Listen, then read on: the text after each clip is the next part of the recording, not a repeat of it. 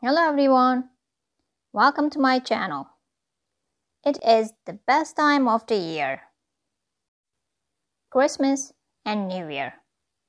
Houses are decorated with lights, gifts, and the holiday spirit. It's all about fun and festivities. Cakes are part of the fun too.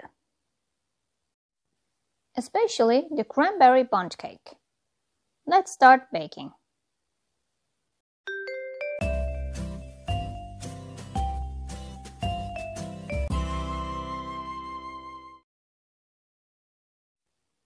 First, we will make sugared cranberries.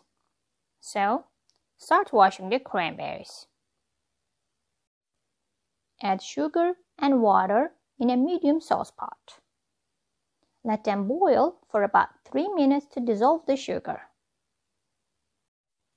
After boiling, add the cranberries. Stir cranberries about a minute or so. Then remove from the heat. Stir them for another minute. Remove cranberries with a slotted spoon and lay over a wire rack or parchment lined baking sheet. Then dry them out for about an hour. After an hour, roll the sticky cranberries in sugar to coat. Then place them on parchment paper. Once it's done, you can keep them in an airtight container in a fridge to use later. You can use the cranberries to garnish your cakes, eat as a snack, or to decorate your dessert. Butter the bundt cake pan well. Sift some flour in it, then tap out excess flour and set aside. Add the flour in a sifter. Add baking powder. Add baking soda and salt. Sift them together, then set aside.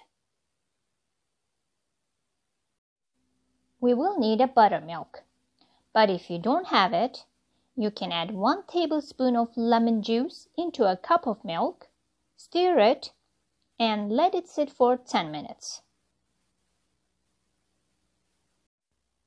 After 10 minutes, we have buttermilk. So, you don't have to run to store. Scrape the orange in a small bowl to make your zest. Squeeze an orange in it. And vanilla extract. Stir them and set aside.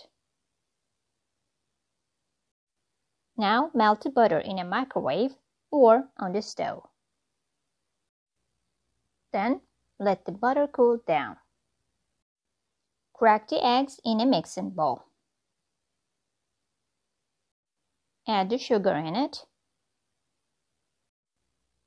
Mix them well with an electric mixer or with hand mixer if you're strong enough until it gets very creamy and fluffy.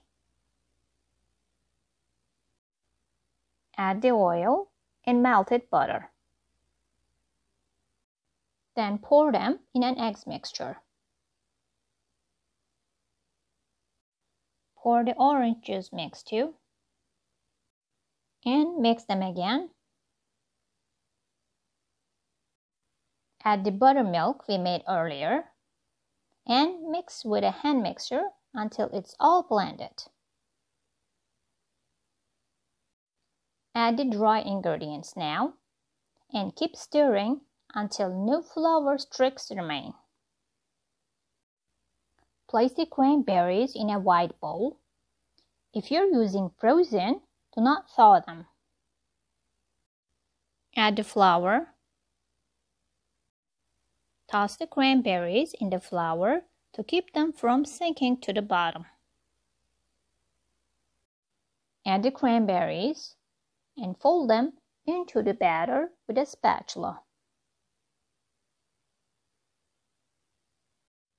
Pour the batter in a pan we greased at the beginning.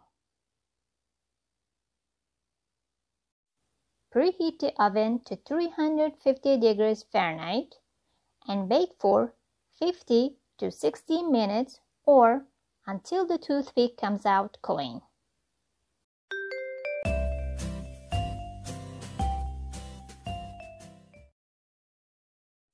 After baking, let it cool off for 15 minutes. After 15 minutes, loosen up the edges with a plastic knife or spatula. Invert the cake onto a wire rack. Let the cake completely cool off on the rack.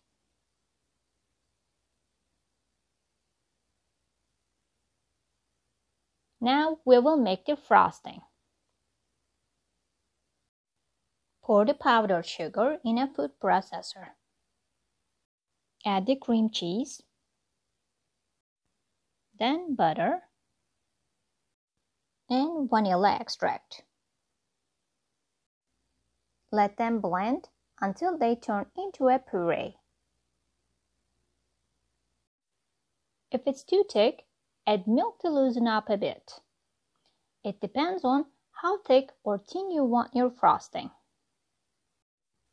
If you have a piping bag, you can use it. Or use a Ziploc bag to decorate the cake. Cut the corner of the Ziploc bag, then start decorating the cake. After it's completely cooled off, start decorating your cake. You can either leave it alone, eat as a tea cake, or decorate with frosting however you like. I am not a cake decorating person at all. So, mine won't look too fancy, but I give you a guarantee for taste.